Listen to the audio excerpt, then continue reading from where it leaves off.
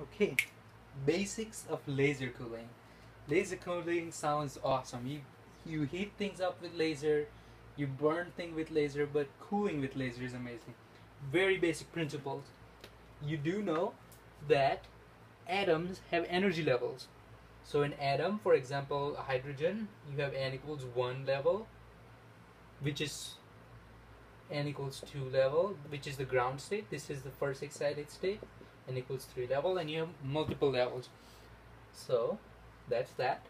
This is the increasing energy axis. You also know that in presence of electric fields and magnetic fields the energy levels split. So you can have this energy level going to say for example two le different levels this one going to three different levels this one going to five different levels and it could go crazy. This is just an example and then you you can have even further splitting of the energy levels depending on what it is exactly so you have all these different energy levels. In quantum mechanics the cool thing is you can't simply have any energy. You have to have one of this energy. Now say you're sitting in this level right here and now I give you a kick. Well if I give you a kick worth that much you can't kick it. It's impossible to kick the atom from here to here because there is no allowed energy level here. You have to have enough power in your kick to push it from here to there. Simply, you just can't possibly do it. This is quantum mechanics. So you need to give it enough kick.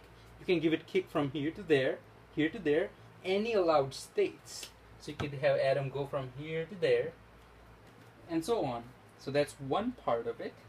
Second part, light is made up of photons photons are particles of light. Photons carry energy. Their energy is hf, where f is the frequency of that light. Photons carry momentum. Momentum of the photon is h bar k. Alright, so they have energy, they have momentum. Cool. Now think about this scenario.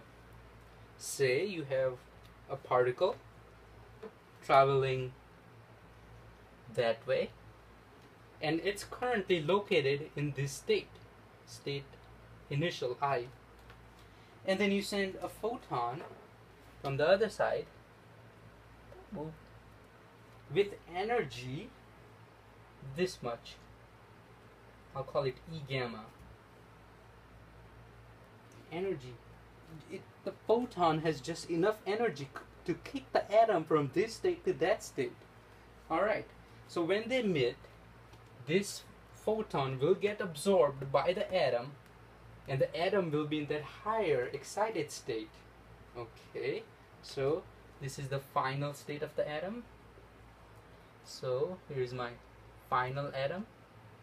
Here is the velocity of the final atom and now it's in the excited state. But conservation of momentum tells you that if this was the initial velocity, because you you gained some momentum from the photon, so your momentum actually decreased or increased in this side. So conservation of momentum tells you that your final momentum is the initial momentum initial momentum plus the momentum gained by the photon which is in the opposite direction. So your final momentum is actually less. So your final velocity is actually less than the initial velocity. Now imagine it, it turns out the momentum that photon carries is very small compared to this massive momentum that particles have from the velocity at room temperature.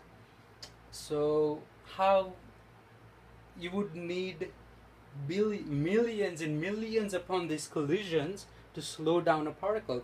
But imagine you could do it. You had if you had a laser with just the right frequency, just the right energy, and you just keep bombarding the particle with photons, and each photon delivers tiny bit of momentum, then you could potentially go down, down, down, down, down, and potentially go to very, very low temperatures, micro Kelvin temperatures, milli Kelvin temperatures. So this is the basics behind laser cooling. Obviously, there are more complications. For example, when the atom is traveling, it sees this photon blue shifted because the photon is traveling towards it, it's traveling towards the photon, so it's blue shifted. So the as it slows down, this photon's energy will change. It won't. It will not be in resonance with this energy shift. So the photons will become see-through because photons will have, for example, this much energy instead of the required energy. So the photons can't kick the atom; they will just pass right through it.